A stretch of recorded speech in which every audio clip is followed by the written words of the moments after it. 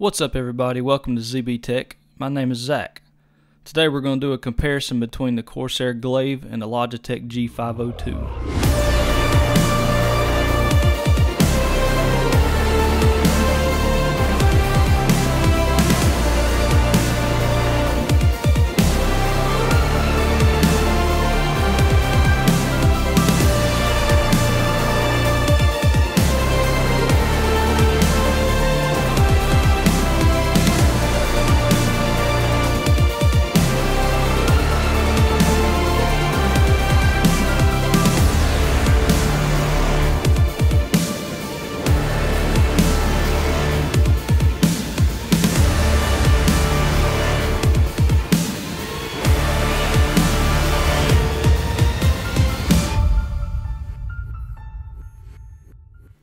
As you can tell right away, they both are very eye-pleasing gaming mice. From the cutting-edge design and elegant curves to the fully customizable RGB LEDs.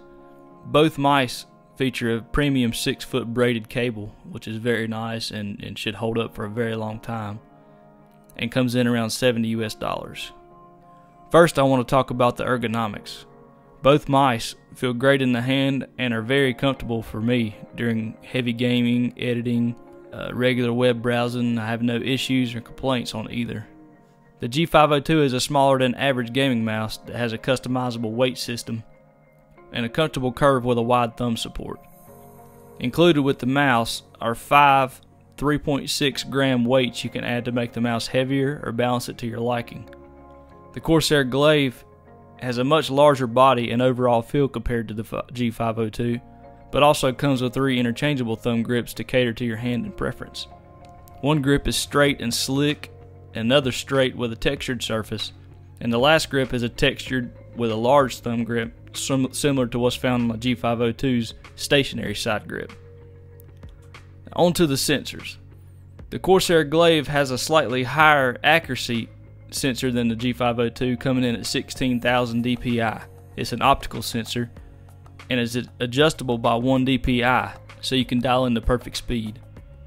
And the G502 has a exclusive G Delta Zero optical sensor and it tops out at 12,000 dpi.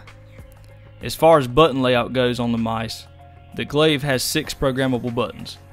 The left and right click and the middle mouse button, DPI on the fly button, and two bumpers on the left side of the mouse positioned above the thumb, most commonly used as the forward and back buttons. The G502 takes the win here in my opinion.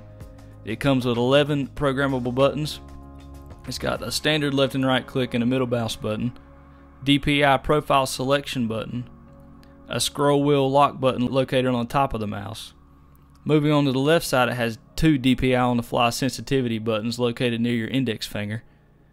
And above the thumb, it has two bumpers to utilize forward and backward.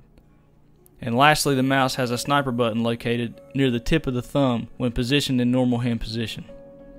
To be noted, the scroll wheel can be moved side to side for side scrolling, and it also has an endless rotation feature which is incredible for web browsing.